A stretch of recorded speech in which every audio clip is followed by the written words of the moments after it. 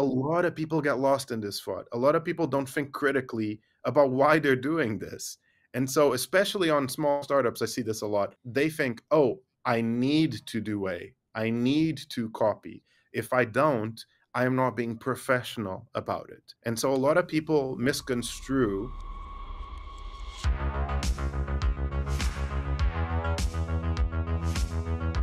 Hello, and welcome to Behind the Game, the podcast where we talk to experts in the gaming industry. Today, we are talking to Gus Viegas, who is a marketing and monetization expert with over 10 plus years of experience at companies like Rovio and Supercell. Gus is very knowledgeable, and it's great to have him here. Gus, welcome. As someone who just did their first live talk, I would love to know do you have any like tips to keep it interesting and like, you know, keep it going deeper, I guess? Because I got mm, some. It's hard. It is very fucking hard.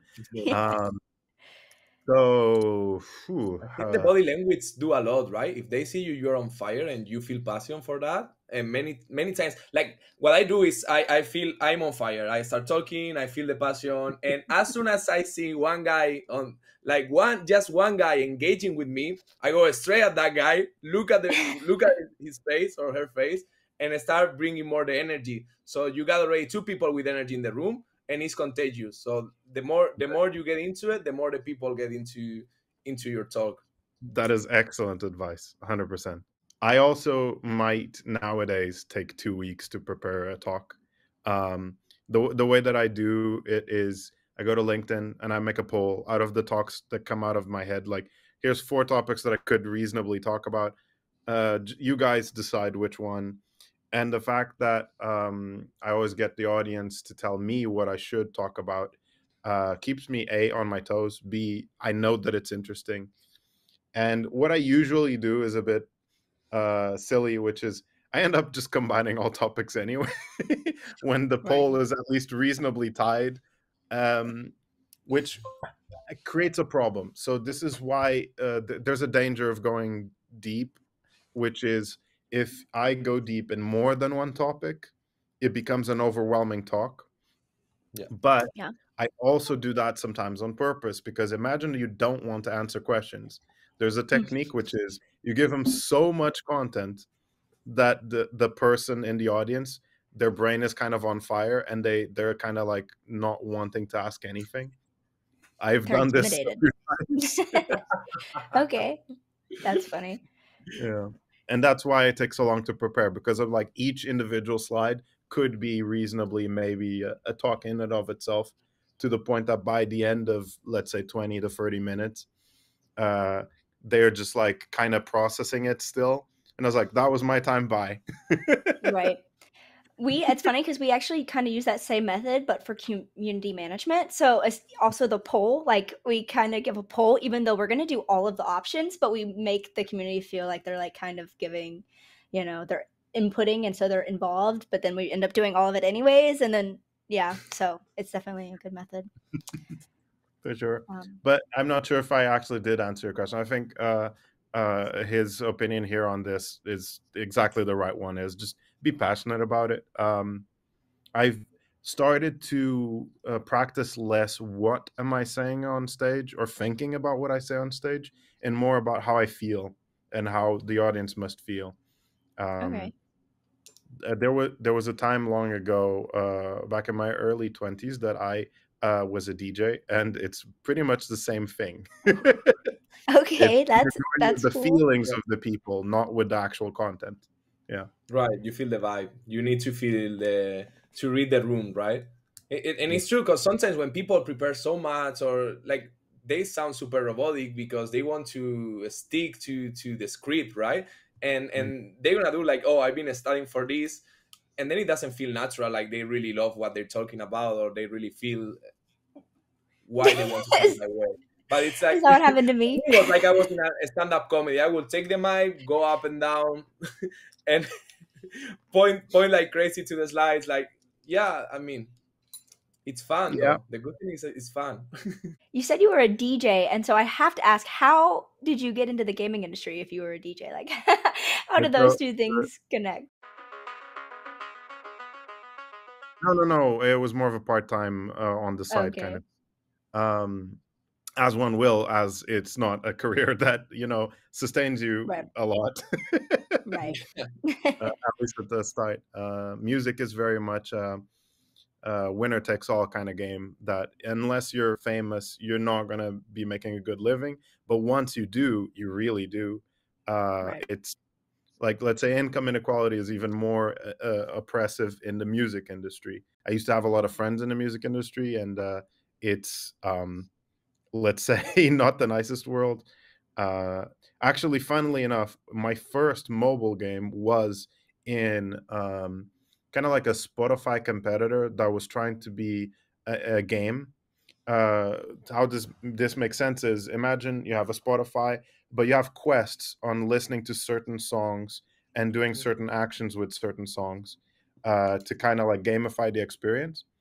And at the time, I was doing uh, well DJ at night and board game designer by day. Uh, so uh, people were thinking, "Hey, uh, got the people from the music industry because this company was actually in the music industry and they were getting into apps and mobile games and mobile in general." Okay. uh, and they were like, "Who's a nerd that we know?" and my name came up, and they just decided to hire me on my first, I would say, mobile uh, game uh, situation.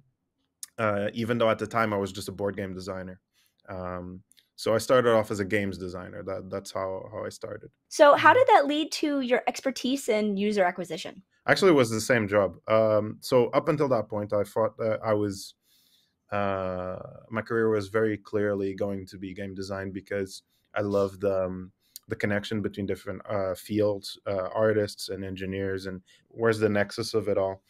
And in that job, uh, at the beginning, I was more responsible for the retention of the game. And one of the things that came from that is live ops. And live Mhm. ops effectively is, you know, the events come in uh, and you're managing the different events and that can be uh, in both departments both the game design department and then the marketing department that is you know advertising it and being uh, uh, curious about it i just ended up uh, hey how you're setting up this facebook campaign? How, hey how does this work? Hey how does that work? And hey did you try this? Did you try that?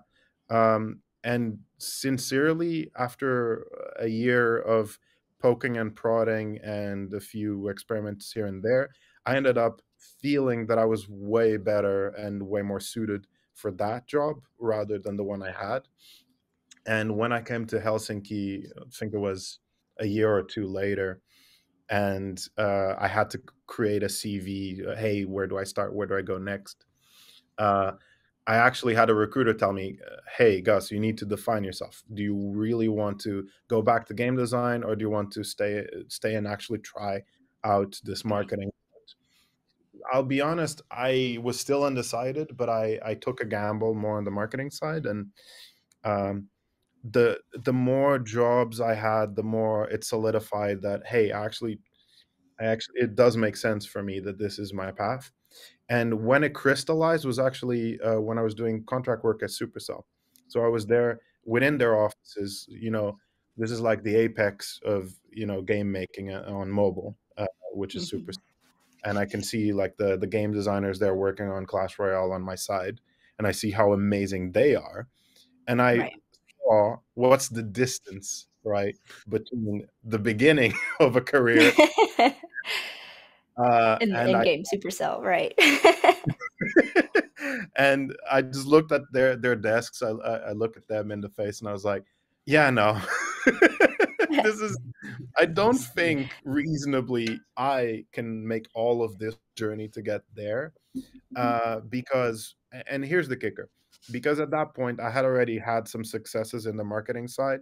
It was quite quick that I made some some epic campaigns that really changed the story of a game uh, and so I already had some success on one side and kind of none on the other.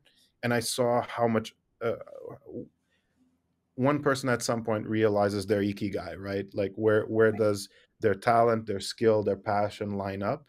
And for me, it happened to be marketing. Um, it's not not everyone's cup of tea.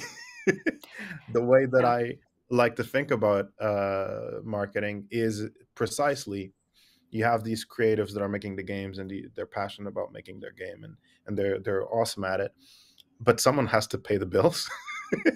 And so i specialize in that uh, in specifically answering that question which is how does money come in? How does money come out in a in a company. And typically the out is the marketing. That's where all the money goes out the door most of the time. And a lot of the time when it comes in it's ad monetization. And so i saw Mhm. my career gravitating towards helping them out. And it links back to the previous conversation of uh, where was i at with uh, the music industry. I when i was in the music industry my my biggest concern was how do we get these artists paid? And in the gaming industry it did not change. I still uh, worry every single day where does the salary come from? Uh, where does the money go? And as someone who's been in a bunch of different startups throughout the years and i've seen companies fail uh, and i've seen people getting laid off and this is something very present nowadays unfortunately. I care so much about this that i do anything to make sure that like the money is on the table for the game developers um, and that, that's how i see my career a bit That's really impressive, man. So you you like you could pivot from from more UA to a more director role when you where you can have more power to make sure where the money is gonna go, how to just manage your teams, put the right resources on the right place, right? Yes, I I think this is uh, the the way you ask the question actually reminds me of the trajectory one goes from junior to senior to lead to Yeah. director and NC level. Uh, you you start off very ambitiously. Hey, I just want to do something. Uh, and, and when I was in Portugal making board games, that was literally it. Is I just want to do games somehow as much as humanly possible.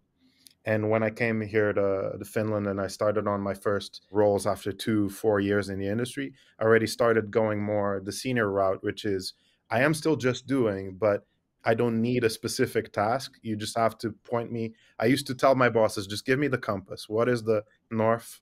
And I will go in that direction. I don't need you to tell me what to do. You just need to tell me why I'm doing it. Uh, and then I'll adjust.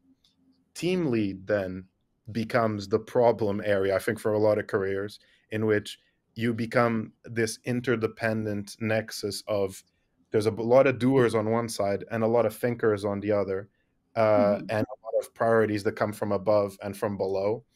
And you're just there to kind of connect all the dots. And it's a very frustrating role to be in uh, because a lot of things might go might go wrong that you had no control over.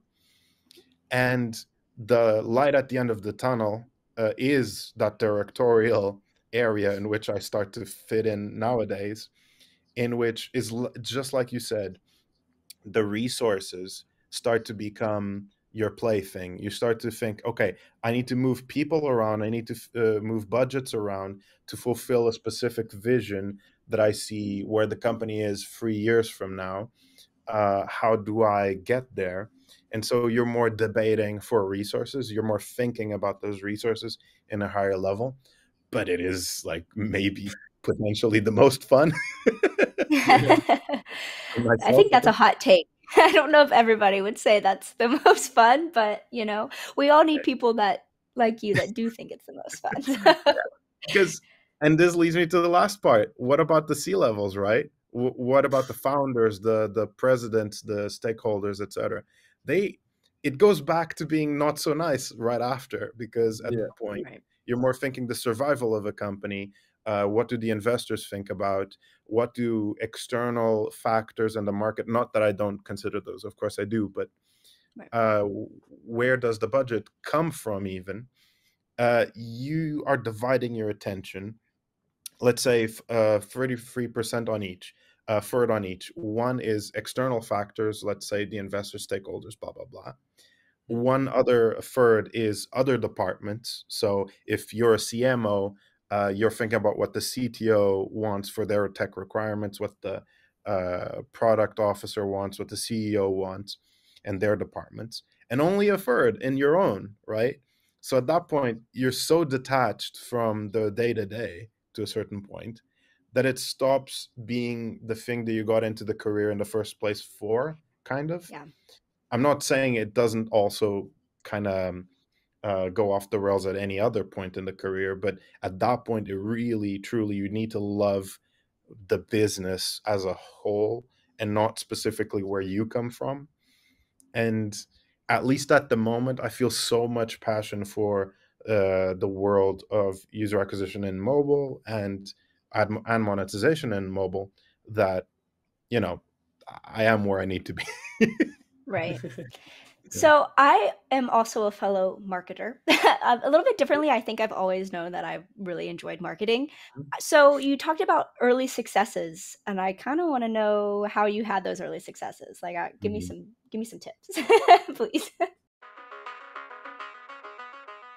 Uh, again, I'm taking this from the lens of the performance marketing side. So let's be clear here that I am not by any means of the imagination uh, an excellent community manager or social media manager. I have a lot of respect for these other roles that are more uh, connecting with the people one to one. Not saying that performance marketing is not that, but I mean, come on. Uh, in the last 10 years, up until the Apple uh, apocalypse of privacy, uh, performance marketing was effectively econ- economics, uh, money in, money out, like I described it earlier. It didn't really matter uh, your ideas for ads because you would just throw all of the ideas in the machine, see what which one was good, and that's it. Yeah. Um, so I again respect for people that actually do marketing and not just performance marketing. Uh, that said, so early successes. Um, so it was really early on in my career. I think it was literally my first job here in Finland that um so the way I got that job was uh, legitimately knocking door to door on all the gaming companies here and there's 200 gaming companies here. So after 2 weeks of knocking every day on a few doors, the most old school to the point that a lot of people open the door and say, "Why not an email?" uh, I said, "You're talking to me, aren't you?" So um, so after a couple of weeks, someone gave me a test, which was, "Hey, we actually have access to really interesting IPs, uh, like I think it was like Red Bull and Walking Dead and uh, the Terminator. Uh, how would you leverage that to get users in?" And uh, imagine your budget is, let's say, uh, twenty thousand or twenty-five thousand or whatever and we want to get millions of users, right? So immediately I hear this and I'm thinking, okay, so they're talking uh cents on the CPI for maybe a US audience. This is already hard. Um, but they do have brand power. Uh, they have no plan in a sense. Like there was a plan, but it was no super structured plan at the moment yet for the release of the game. And the game was releasing in, I think, a month and a half, maybe two months. Uh, and I was like, okay, fuck, how, how do I align all of this? and funny enough, so this is, goddamn, which year are we talking about? 2016, 2017, maybe? Uh, and uh, YouTube influencers weren't a thing yet. It, like it was the yeah. beginning of it, like the really beginning of it. And I was an avid YouTube watcher, like still am, unfortunately, to this day uh, multiple hours, unfortunately, to this day, uh, every day. And me too. I'm gonna be honest. I love YouTube. Is sorry, keep going. yeah, I replace it with TikTok. No, I just add a TikTok on top. So same. I watch more YouTube than I watch like TV for sure. I'm a YouTube watcher. Yeah. Absolutely, yeah. hands down. It's it is what it is. Um, yeah. So, as someone who is very passionate about YouTube and someone who saw the potential in it, and uh, I decided to go the influencer marketing route uh, for this particular project. And what I did was I calculated okay, so if this is my target CPI, and this is what I believe is a reasonable enough conversion rate, let's say for an ad, you you have a conversion rate of 1%, 2%, whatever Let's assume it's the exact same conversion rate. So 2%, let's say. So you know how many views they get on each video. You know what's your conversion rate and you know what CPI you want. That immediately gives you what's your price range. Like what's your cost per per thousand impressions uh, that you want to target. So I did this in reverse. I made kind of a script that crawled on messages on YouTube, uh, telling them, "Hey, this is exactly how much I'm willing to pay for your video on this, let's say, Terminator video or on this Red Bull video or whatever. Uh, this is how much I'm willing to pay. Uh, this is how much. Uh, this is how to contact me. This is actually an asset package that you can use to talk about the game, like videos of the game that we had prepared and assets for the game that we had prepared.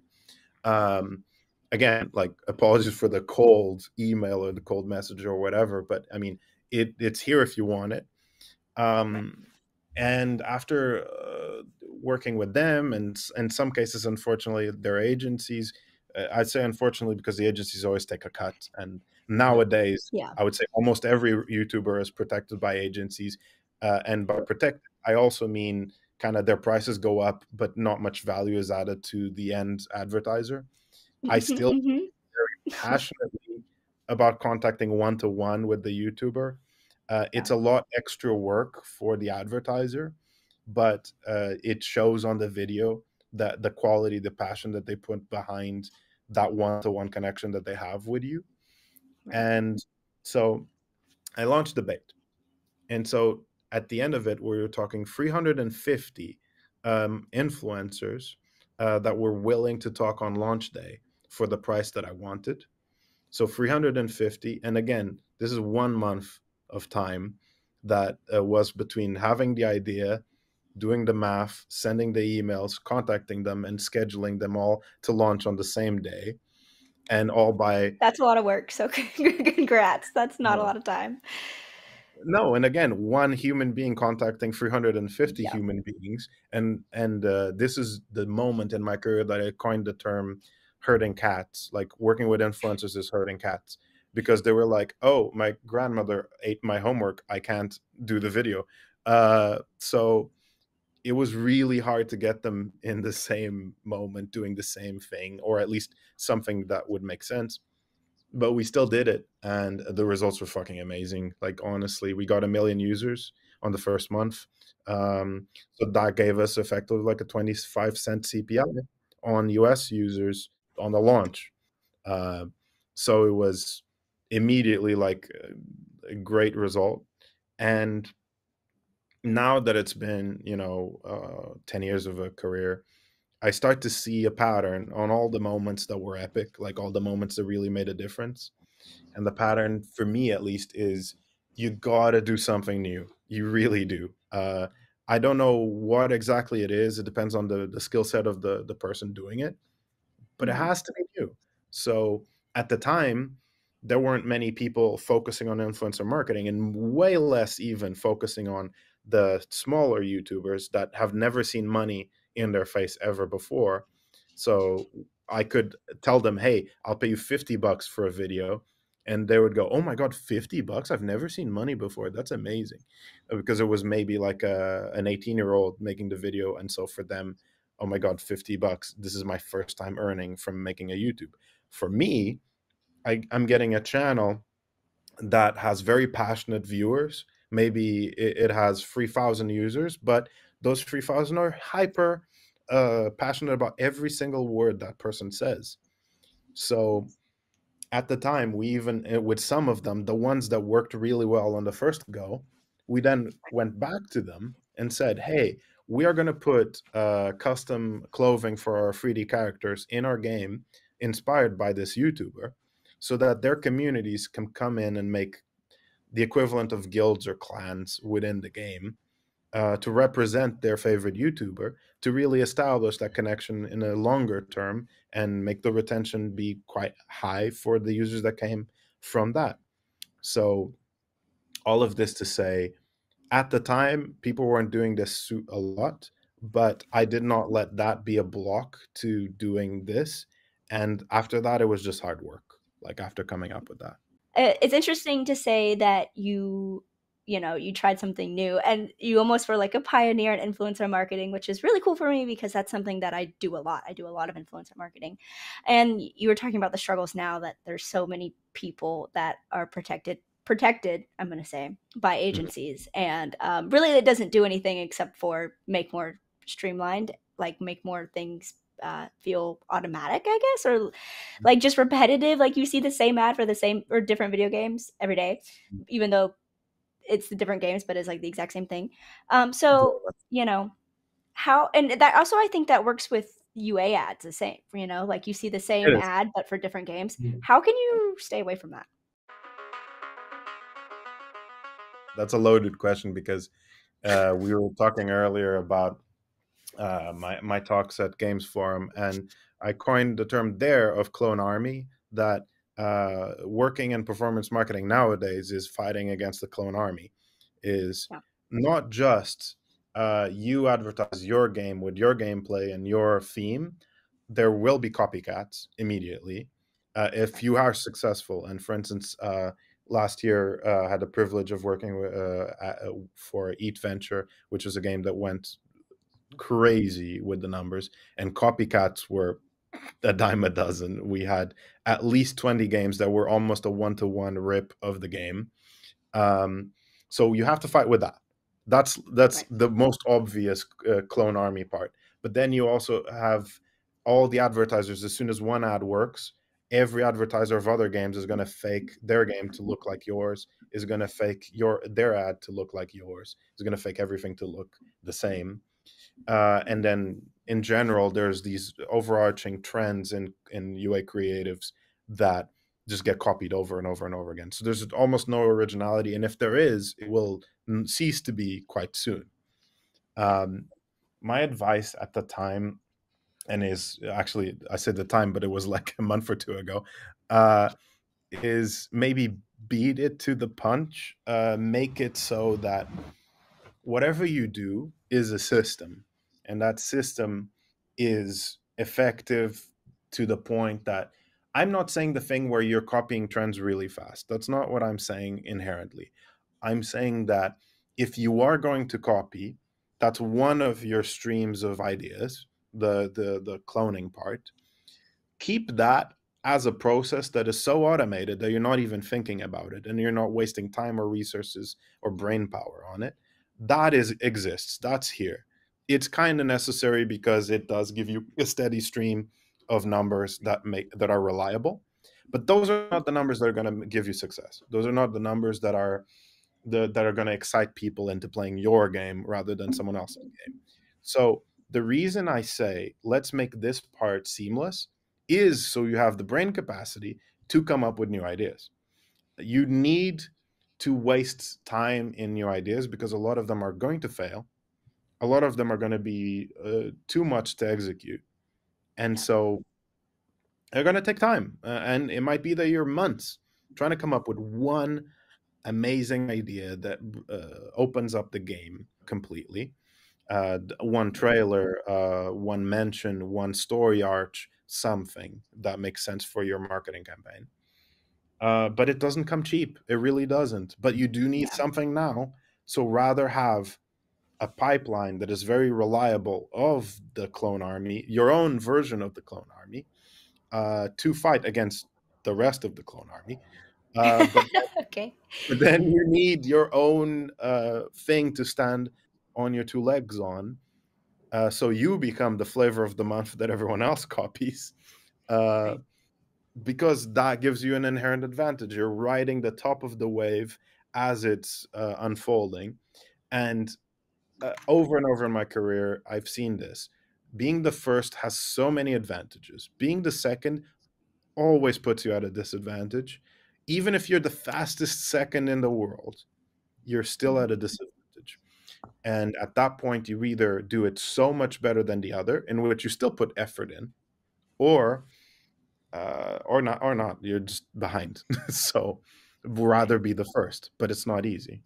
Yeah. And do you think like because this is this it seems like this is everywhere in the industry? I I mean, personally speaking, I think the lack of the games creativity, themselves and is i- yeah, Yeah. it's like the, the lack of creativity in new games, in new mechanics, in a lot of things, new user interfaces that most of them are the same or copied, which works, Yeah. of course. But Yeah. it's it seems like everything is related in the industry Yeah. because we're focusing too much on performance and we're starting to forget a little bit more about how we make the user feel or how we build Yeah. the story, right? And Very it's all about the money. So mm-hmm. How do you how do you see this trend? Uh, do you think it's gonna go more, or do you think we're gonna get to a point that it's gonna it's gonna explode and say, okay, fuck it, it's not working anymore to copy everything, and and you you really need to find a new idea, or do you think that it's gonna be a trend that is gonna last for the next? That say, an excellent question. That is an excellent question because, uh, and funny enough, I think that you already got your answer. So, we've we've seen unfortunately a lot of layoffs over the last few months, um, years even I would say, and I think, and and I wrote a series about this. You might have seen it on on LinkedIn. My theory is that this is the consequence of lack of innovation. So. Yeah four years, four years, companies have been fo- so focused on their bottom line that they forgot mm-hmm. why they are a company in the first place. So if you are making a game studio, you're making a game studio. You're not making a game studio.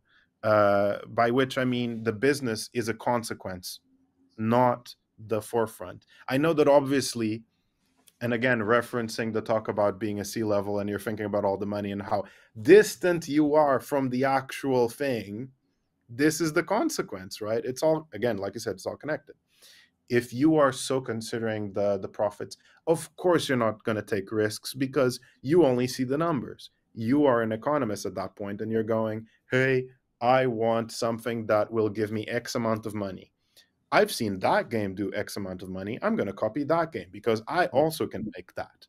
Uh, but they forget that, again, being the second one, it's not just a disservice to the players, and it is, it's a disservice to your own bottom line because you're going to get lower numbers. Doesn't matter if you see uh, Monopoly Go right now being uh, topping the charts and making uh, un- uncalculable amounts of money if you make Monopoly Go now, you suck. Like you, you're not going to get two billion. Yeah, you're not going to make two billion like they did because they already did it. So what's right. the point of copying? Sure, maybe you get two million. Great, you got some money, you got some business. Amazing. Would you have gotten? And sorry for the effect. I, they just really agree with what you're saying. They're like, yes. the, the AI gods have have agreed. um, so um, imagine you make this game, you get two million. But if you make a new game that uh, you never everyone has ever seen, what what are the the potential scenarios here? You might make a game, it fails spectacularly. Great. Maybe you didn't waste too many resources on it uh, to the point that maybe you spend one year and you make 10 games 10 prototypes or mvp games so not yeah. not finished games right one of them is probably going to be better than that clone like at, at the very least one of those is going to be better than a game the difference is and again this is why this happens unfortunately out of those 10 you don't know which one is going to succeed but if you clone you know it's going to succeed to a certain extent so yeah. that becomes an economical decision. Do I want to take a low risk, low reward or a high risk, high reward? And unfortunately, a lot of people, maybe due to their their fear of people losing jobs and so forth, or their own paycheck or whatever, they make these safe decisions. But it ends up biting you uh, later because if your company uh, keeps on pumping out game after game after game that ends up being the same game, reskinned, refactored, rethemed, whatever, um, or it's a copycat factory. None of those is going to be the hit game that is going to uh, allow you to expand the company and hire new people and sustain uh, jobs and salary increases and and the and the so forth. And instead, what happens is your company is dwindling and dwindling and dwindling which means you need to cut costs in some capacity. And so layoffs happen. So yeah. it the gamers lose because they have a worse game. Uh, the the executives lose because they now have to cost cut. And who loses the most are actually the game developers who got fired. So who should start the chains and from where? Like for example, like do you think it is something more that investors should change or because from what I understand, right? If you're a studio, you're a small studio, you're opening, you have a dream, whatever, you're gonna need money, and the people who's going to give you the money, they're look, looking only at the at the metrics, how it's going to perform, and everything. Oh, so who should be the first line? Who should make the change that is gonna that is gonna convert into all the other lines changing, right? Okay, so now I've been talking about big executives, right, that have large budgets to work with. If you're talking about an indie developer, or even let's not even say indie, let's say startup developer that has some money and some resources, but not a lot of it, uh, then it becomes a different equation. It becomes, oh fuck, we need a bit of money, we need to do something to uh, succeed. And so maybe we're going to play it safe uh, so that we have enough budget to then do the thing that we really want to do, the passion project. Um, I see why this decision is made. It makes a lot of business sense to then get the resources. The problem is that uh, uh power corrupts, right? So they succeed with that yeah. copycat, and then they go, "Oh, now we need to sustain the copycat game that we made," and so oh, and we actually already did one. We can do another. so, but it, it's it's a little bit like a human centipede, centipede or whatever it's name, right? It's like it's the same one and cheating on on each other. Because at the end of the day, I, I believe like they ha- they have this choice of going for a copy one to then start with the dreaming project because they're not getting support. I don't know, for example, from the government, from hubs, like so. It's like uh, they cheating on each other to a point that the last one only can just cheat they cannot okay. eat anymore. To, to put it politically correct, uh, kind of. uh, again, it's a clone army. It's uh, let, let's think about it like this: you see a company over there is doing very well, and they're doing A, and you're like, oh fuck, I need to do A because A is where the money is. Yeah. And a lot of people get lost in this thought. A lot of people don't think critically about why they're doing this. And so, especially on small startups, I see this a lot. They think, oh, I need to do A, I need to copy. If I don't, I am not being professional about it. And so, a lot of people misconstrue uh, copying with um, with being professional, with being serious about the business side, instead of thinking that they need something to stand out because we're competing with a global audience and you need to give something that people haven't seen before or else your business is not even going to take off of the water and and this is exactly why i see a lot of companies fail a lot of startups fail is because either a they don't have enough ambition to get to that step to envision themselves as doing something completely new or and this is something i also want to talk about if there's any uh, real game developers out there listening to this lowly businessman uh, here. Um, what happens is that typically the true indies that want to do a game just out of passion, and there's a lot of them for sure, they don't know anything about business.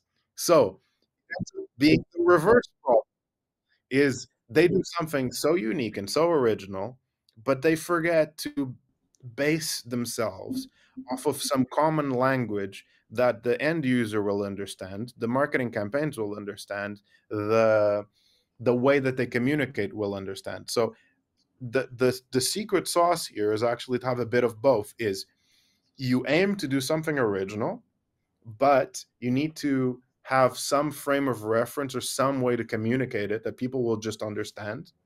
This is why a lot of the the time in the um, PC console space, you hear a lot of, oh, this is World of Warcraft, but with mm-hmm. pigs. Like uh, you add two words together and splash them into something. There's a reason for that to be a thing, is because that frame of reference really helps, but you can't get lost on it either, right? And another thing I see, unfortunately, is people thinking that their innovation is enough. Oh, it's um, Forza, but now the car the cars are made of candy. Who cares? Like there, it's a reskin of a game yeah. that exists. Um, it, it's uh, oh, I I know. I'm gonna come something completely original. It's Forza a racing game, but with rockets so they fly, and and then and I I I am literally making a joke out of the fact that this game exists, uh, and people might not know that that game exists because they might not have the frame of reference. They might have not played enough games, did enough market research to understand that their idea, even though they think is original, isn't. And right. so this goes back to yes, keep your originality, but do enough market research, enough business research to understand was this done already? If so, don't do it one to one copy. Has this never been done before? Okay, why wasn't it done ever before? Uh, and really be skeptical about yourself. Be honest with yourself because maybe there's a reason behind all of that, but most likely uh, it's just that you didn't l- l- dig deep enough and figure it out enough because it, we're how many billions of people in this world? How many games are out there? There's tens of thousands coming out all the time. So the likelihood of your idea being 100% original is super low. Uh, right. The likelihood of an idea being similar to yours but better is also quite high. So you need a bit of both the business sense and the originality you cannot learn passion right but you can learn some business skills so if you yes. have that passion to wanting to build a new game or start your own small indie studio that's perfect keep it but at the same time be realistic don't be delusional and think about business even though it might be a pain at the beginning right? Just you can learn those skills but you cannot learn your passion. So if just go exactly. for it. Exactly. And, and and this goes the advice goes both ways. So if you are someone with passion you it's hard to teach passion really. It's hard to uh, teach passion yeah. But right. business but is you, very but you can find it you can find it. You cannot yeah. learn it but you can find it. Yeah. But maybe you you like me believe oh i am not that creative but i'm pretty good at business so yeah. you team up with creatives that do have that vision that do have that I, i've worked with some excellent game designers throughout the years and i love them to death and i i've met some amazing people and I love protecting them. This is goes back to why I feel of my career the way I do, is because if you don't do not protect that vision, it gets corrupted by committees, it gets corrupted by business, and it dilutes. And when it dilutes, it loses its value. Mm-hmm. Um, so you, so if you are someone that self-identifies as not creative at all, yeah, uh, yeah, I know. you can help. you can right. help others who actually are um yeah I, honestly the, the that's how i see things is it, it has to work both ways and we have to meet yeah. in the middle yeah right so we've talked a lot about your career throughout this conversation and you've get, given a lot of great insights so we always like to ask this as our last question but if you could go back in time and give yourself a cheat code you know early baby you what mm. would your cheat code be to like excel your career much faster It's funny because I kind of followed it uh, very wrongly. Um, little, little, people know this, but I actually tried to make my own studio, game studio, at some point in my career, really early on, really early on. But that was kind of the problem. I wasn't ready for a variety of reasons. I was a bad leader, uh, didn't have enough frame of reference of you know how to make a business, all of these things that we just discussed. Um, but I would still say that the advice is try to do things your way try to uh, own what is only you that can do uh, i think that if i had sooner realized what are the things that only i can do and really focus and hone in on that instead of wasting my time trying to figure out how do i align with other people's expectations of what i think is a good thing to do uh, an example would be you're trying to please your boss rather than uh, trying to be excellent at what you think is ideal. Uh, between those, it's a no brainer for me nowadays. But maybe early on in my career, I really wanted to uh, fit in uh, and make f- things good for someone else. And that doesn't make sense because, again, only you can do you. Even if the skill that you have feels like everyone else has it, they might not have it to the extent that you do, or they might not have it in your way of doing. So, for instance, I actually believe, weirdly enough, my skill is working hard, uh, is doing like again. How many people have you met that have talked in one month for 350 influencers? Not many, I'm gonna guess. Not many, no. No, you're a hustler. So, you're a hustler, man. I would say I don't even think I do that to be honest. So That's so a lot. That's, that's That kind is of the a point, lot. right? So so my unique selling point is something extremely boring, which is just doing a lot. Uh, Right. But I now own it, which is terrible for my uh, sleep schedule. But Yeah. Yeah. Your But- sanity for sure. yeah, you learn how to deal. um, but yeah, no, that's exactly the point. Is my cheat code for myself would figure out what it is that I do, and don't be afraid of starting your own business around that uh, unique skill. Yeah, All right. So basically, to wrap it up, it's be original. you know, be yourself. Do it, what it you're good at. sounds and like be that was the topic all along. For you is for you is like open open your own studio with people who can work twenty two hours per day, knocking, on the- knocking doors Those and sending two hundred emails per day. Those Right. exist. You you have no idea of how hardworking people are in the game industry. I mean, uh, you probably do have an idea, but my point is, you always get surprised. I've heard of stories of people sleeping on their desk uh, because they Oh, yeah. thought, I am going to war and I Yep. need our company to succeed and survive. And so I will sleep on this desk until we are the number one. I've met someone that internalized this thought, and I'm not at all advocating for that. I, I'm in, in Finland where we have a healthy work life balance and it's great. And the rested mind comes up with better ideas. Um, Yeah. Sometimes you're But- like there working like 16, 18, 20 hours and you don't think clearly. You think like it's No. it's like similar to when you're high. You think like you have the best ideas in the world and then you wake up the next day, you see your notes and it's what the fuck was that? You're like, what does this chicken scratch even so mean? when you work last that Right. X hours, it's like you think you're super, super on the mood, on the zone, whatever. But if you see it from outside, it's like, man, you're just going around with a no fucking sense of ideas. You're absolutely right. And then that's how people should view crunch and should view working too much. It's you pay it back. You always pay it back. Uh, and the stress that you cause on yourself and others when you work too hard is the chicken scribbles that you write. But Right. instead of only affecting you, you're affecting everyone around you. So work life balance works. It does work. It matters, right? Hmm. All right, Gus, thank you so, so much for being here. It was an absolute pleasure to talk with you and meet you. You're kind of, you know, a little influencer on LinkedIn. Um, and I think we had a really great conversation. So I really appreciate you being here. Cheers. This is my pleasure. Thank you so much.